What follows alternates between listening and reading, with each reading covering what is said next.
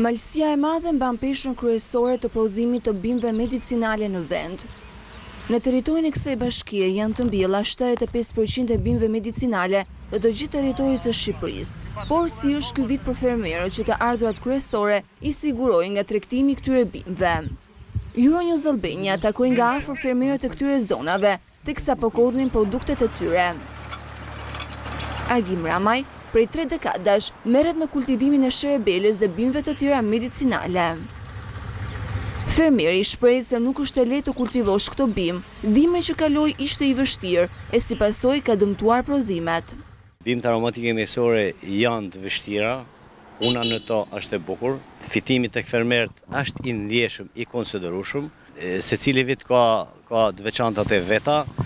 Ky vit për fermerët nuk ka qenë i mirë, sepse ne kishim një dimër të lagtë, shumë të lagtë dhe me temperatura të larta dhe të gjitha parcelat u u u kontaminuan, u mushën me barishte të këqija. Problematika kryesore në këtë periudhë të korrjes së bimëve mbetet gjetja e krahut të punës, pasi shumica e të rinjve kanë emigruar. Ne problemin kryesor sot kemi sigurimin e fuqisë punëtore. Gjithë këto parcela që janë pesë mijë pesë mijë hektarë për Malësinë e Madhe, as janë pak, tre mijë e tetëqind janë me sherbel, të gjitha do të do të vilen me drapër, korren me drapër. Dhe imagjino pesë mijë hektarë të korren me drapër, ku ne sot marrim punëtorë edhe edhe gati në kufi me Lezhë. Punëtorët e kësaj fushe po pakësohen përditë. Këtë punë e bajnë gratë kryesisht dhe moshat moshat e mesme. Rinia duhet inkurajue ose pak mbështet. Në një parcelë të mbjellë me sherebelë takojmë Hilmi Zekën, i cili prej njëzet e pesë vitesh kultivon këto bimë. Edhe për Hilmin është shumë e vështirë gjetja e punëtorëve për të korrur bimët. Sipas fermerit, kjo shkaktohet nga çmimi i ulët dhe mungesa e kontratave me firmat e mëdha që mbledhin këto produkte dhe i eksportojnë jashtë vendit. Po shumë e vështira është se fuqi punëtore ka pak.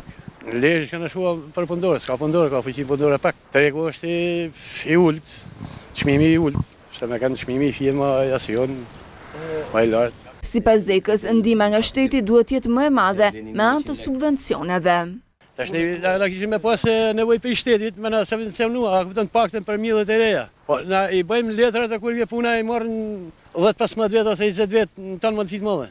Ata që i kanë në dorë, kurse na s'marrim gjë. Konstantin Hajkola, drejtues i Drejtorisë së Teknologjisë Bujqësore vë në dukje problemin e fuqisë bujqësore. Që po dëmton produktin që po thahet në toka.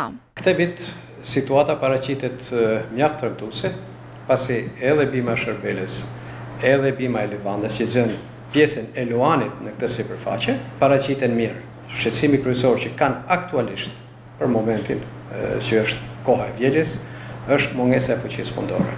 Aq problematike është saqë një pjesë e mirë e parcelave me sherbelë Kanë ngelur pa u pastruar mirë nga barërat e këqija dhe shpesh herë ndeshim parcela që kanë sythe lulorë të shumtë, gjë që ul cilësinë e sherbelës.